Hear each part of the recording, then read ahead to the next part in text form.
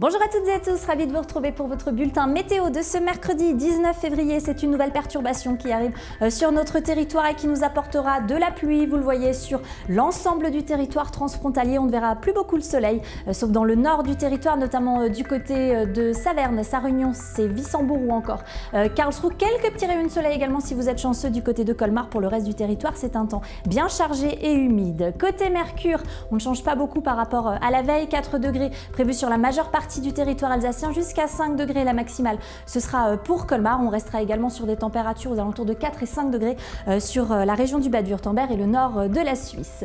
L'après-midi, ça s'arrange. On peut dire ça comme ça.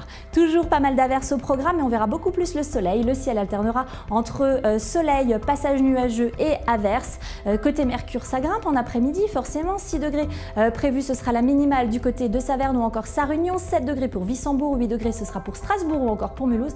9 degrés la maximale prévue pour Colmar. On jette maintenant un coup d'œil sur vos prévisions de jeudi et une belle journée en perspective, le retour du soleil, notamment dans le sud, un grand soleil quasiment sans nuages, des nuages qui persistent un petit peu dans le nord, mais rien de bien méchant, 11 degrés jeudi après-midi au meilleur de la journée en Alsace.